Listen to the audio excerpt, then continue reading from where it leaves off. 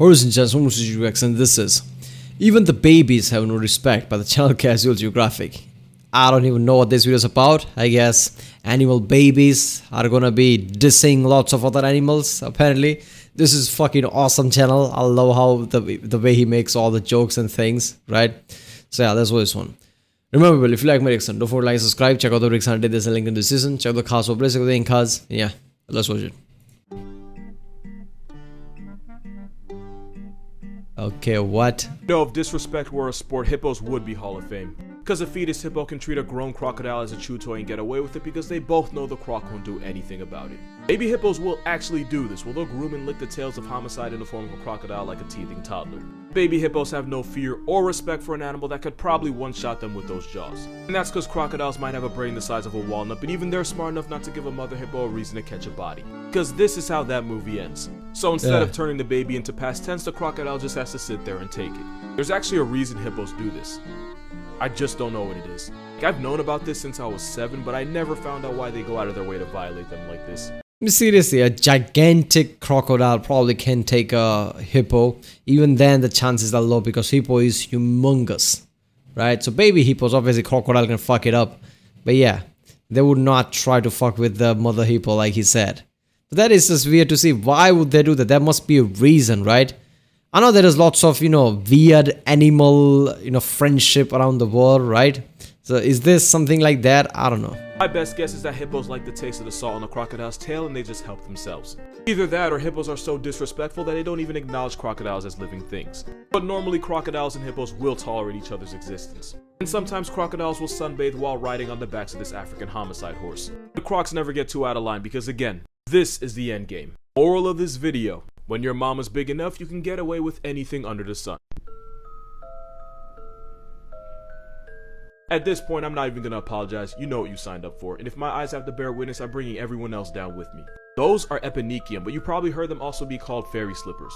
What? Those fairy slippers are a rubbery covering that goes over the hooves of a baby horse to protect its mother from the sharp edges while it's still inside. Ah. It's like a pair of house slippers that the baby horse wears until it finally joins the outside. And if you've never seen this before, it's because as soon as the eponychium touches air, it starts to dry and fall off, especially once the foal starts walking. And sometimes the mother horse will pull the rubber boots off the baby with her teeth.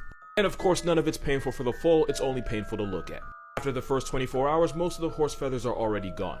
Yeah, how many how many time mother horses got internal bleeding before nature realized, oh fuck it, we'll just give them slippers. It looks bad, but it's actually for a really good reason. Baby horses have to be able to stand and walk as soon as possible, since the smell of a horse being born can attract predators. But, having fully formed hooves could put the mother in a pack if one of the sharp edges cuts her and causes internal bleeding. Moral of this video, this is what compromise looks like. Like maybe Japan. I'm gonna hold you, that does look bad, but don't worry, it's worse than you think. Now I could be wrong, I might be wrong, but if I had to guess, that is some type of eel, especially a snaggletooth snake eel. You can find this demonic fire hose in the Pacific Ooh. Ocean. Apparently the biggest ones can grow to three and a half feet. And I'm gonna go ahead and guess they're one of those animals designed to live at the bottom of the ocean, so when you bring them up to the surface, they become deformed creations belonging to Satan. Which is probably why it looks like a possessed balloon animal, as a result of bloating after death. And with those needles for teeth, we can guess that it eats small fish, crustaceans, and maybe even squid, and those teeth keep the struggling prey from escaping. And if that acid trip of a rough draft is anything like the moray eel, then they have a second set of pharyngeal jaws in its throat to make sure whatever goes in doesn't come out. But what having a throat with a child lock does backfire when you choke yourself into an obituary. And I know I said snaggletooth before, but it could also be a fangtooth snake eel, especially since they're found deeper down. And as much as I genuinely love freaking y'all out, they're pretty much harmless and probably wouldn't bite you unless you did something to deserve it. So this thing's probably dead. But this is proof that nature has rough drafts and its trash bin is the bottom of the ocean. You see these bones? You want to know what made these bones? You don't want to know what made these bones. Yeah. Because this graveyard was found in a nest of one of the most homicidal things in the Amazon. Harpy eagle is a paralysis demon with wings. Not only are they one of the largest murder tweeties in the world, they have talons that are as big as the claws of a grizzly bear. Harpies use those vice grips to crush the bones of their prey on the way back to the nest. But there's one important thing about them that makes them a special type of menace. The worst thing about this eagle are those wings. Nature gave harpy eagles short wings, meaning not only can they fly through the jungle to catch prey, it means no name on the census is safe. Which is why this steroid hell pigeon has one of the most disrespectful KDs out there. Just in this picture you can see monkeys, sloths, armadillos, and lizards that never made it home because this Air Bundy caught them slipping. That is literally how they hunt. They'll sit in a- Oh my god, this thing is way too big, man. I mean, close to the man, this thing is way too big. But I know, you know, there are lots of different part of the world where there are, you know, animals are really weird and different than you, you're whatever you're commonly, you know, accustomed to, I guess. But still, if I just go to go to places like this and if I see something like that, I'll be terrified as fuck. Like, what the fuck is that? And knowing that it can kill you because it has claws and shit that can basically cut your throat or something.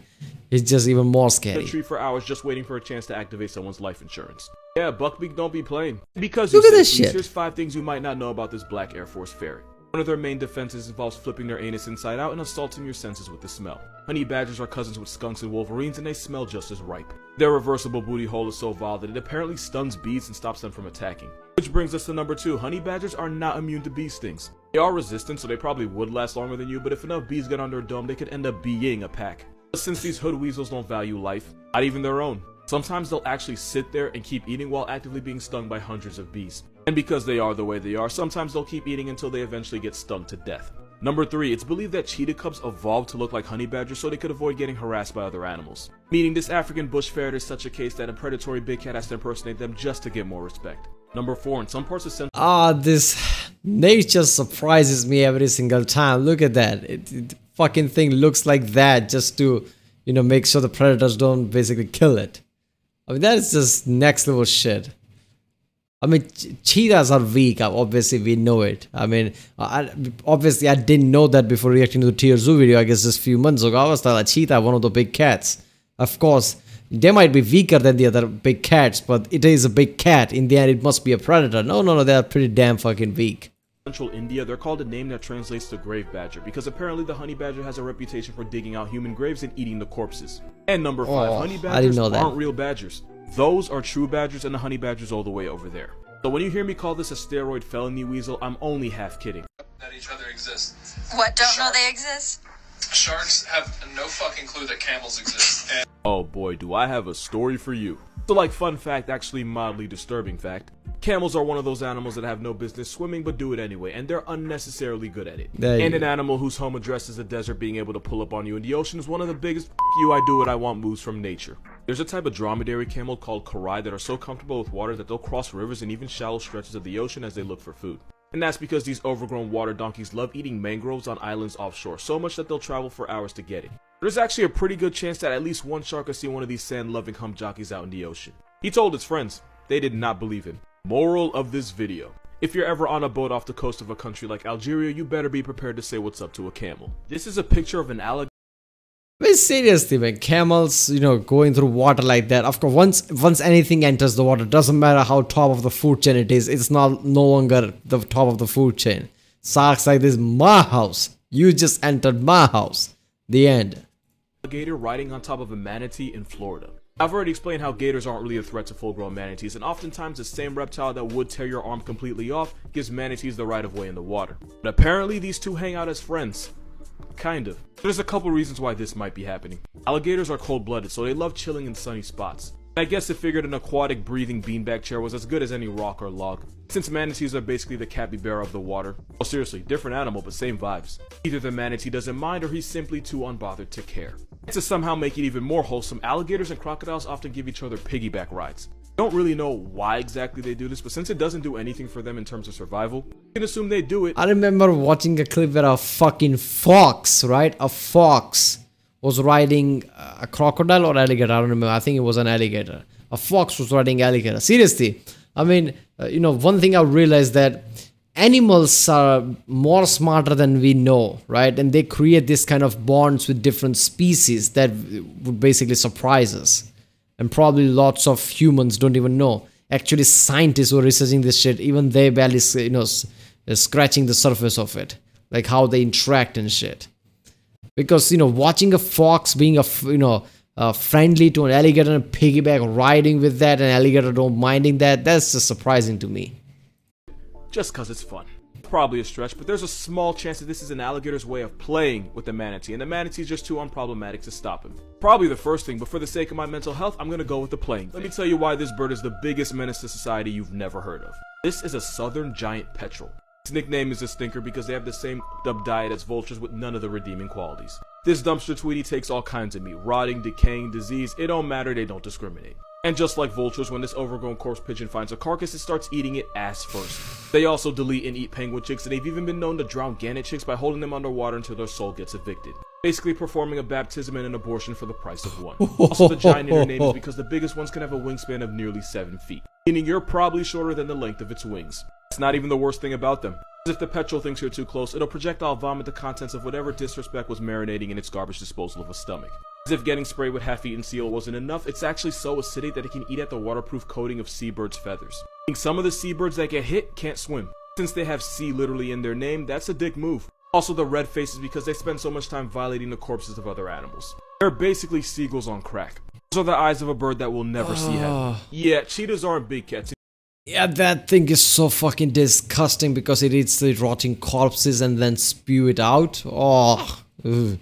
You're right, I probably should have explained that. So when you talk about wildcats, you have two flavors of felines. You got the Panthera genus and you got you Team. Felinae. And Yeah. the Panthera genus has lions, tigers, jaguars, leopards, and snow Roar. leopards, and they all have one thing in common, is that they can all roar. Except the snow leopard, but they're so cool they get in strictly off clout. And these are what people call big cats, but you'll probably notice there's two big names missing. And that's because mountain lions and cheetahs can't roar, so they don't qualify as big cats, meaning they belong to the second group of cats. Which also includes ocelots, caracals, lynxes, and even the pet cat watching you watch this. Instead of roaring, these guys purr. Apparently, if you're a cheetah, you also chirp like a bird because of course they do. Also, the name big cat doesn't really refer to their size because the smallest big cat is outweighed by the biggest little cat. Basically, it comes down to if you can roar, you sit at the big cat lunch table. If you purr, you ride the little cat bus. And if you're a cheetah, you sit alone because honestly, what is this?